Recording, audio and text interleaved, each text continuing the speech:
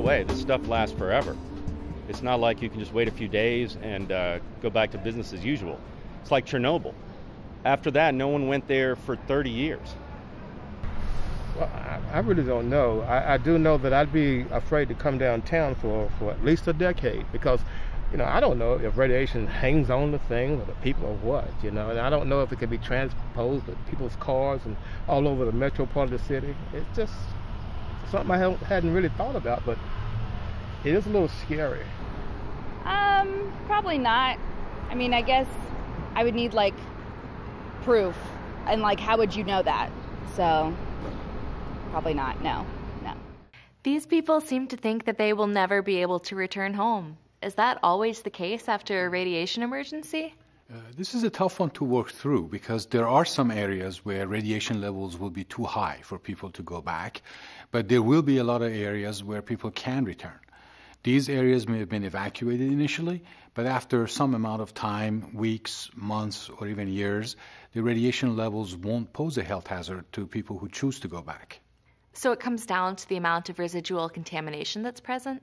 Yes, that's part of it. And we need to assess the radiation dose people in that area will receive from that contamination. And who figures that out? Who measures the radiation levels? It's a joint effort among local, state, and federal authorities. Uh, shortly after the radiation emergency, assets and resources from many agencies come together to form the FRMAC, the Federal Radiological Monitoring and Assessment Center.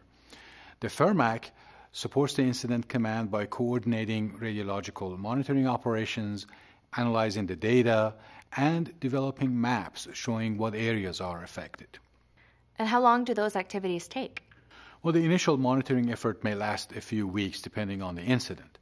During this phase of the response, we're focused on identifying areas with radiation levels that could be harmful to people in the short term.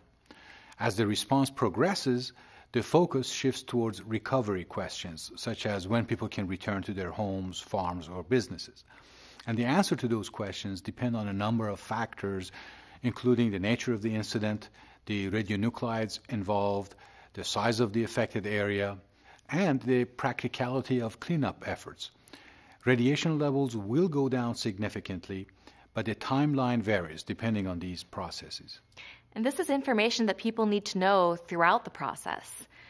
During and after a radiation emergency, health officials will need to communicate that some information may not be known for some time. Acknowledging the uncertainty of the situation will help officials earn and keep the public's trust as the community begins to rebuild and recover. Communicators also need to think about the way that different audiences get their news and how best to reach them. And we should remember really the technical information is only one element of the decision making process. Decisions about when to return to the affected area have to involve members of that community. That's right. There are a lot of ways to get community input, whether it's through social media, emails, or talking to community representatives. One effective communication channel to keep the public informed is a community meeting. After the meeting, officials can post recordings, meeting minutes, and decisions online. They can also share them with the media to ensure transparency about the decision making process. Community involvement and community based decision making will be critical to rebuilding and recovery.